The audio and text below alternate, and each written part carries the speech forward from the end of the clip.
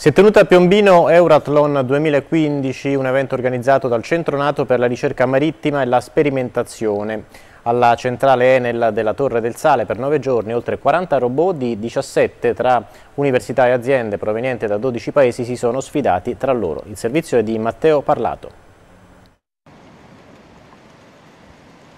L'obiettivo di Aeroatron 2015 è proporre a team multidominio di robot, cioè terra, aria, mare, uno scenario ispirato a Fukushima 2011. Essenzialmente l'idea è di sensibilizzare la comunità scientifica sui problemi di coordinazione e cooperazione fra i robot.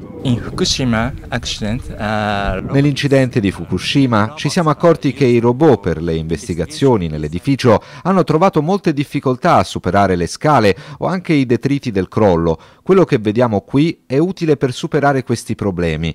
Il nostro prossimo passo sarà far entrare i robot nel reattore, ma prima dobbiamo trovare i modi di proteggerli dalle radiazioni che possono mettere fuori uso le componenti elettroniche. Noi vediamo dell'azione, ma per ogni minuto di azione quanta programmazione c'è? Difficile da dirsi, però sicuramente molta. Ci bisogna pensare che dietro il lavoro di questi robot ci siano mesi, addirittura anni per sviluppare le macchine e per renderle robuste ed affidabili. Con l'occasione è stato possibile vedere in azione il coreano DRC Ubo, vincitore dell'ultima DARPA Robotic Challenge, il campionato mondiale dei robot.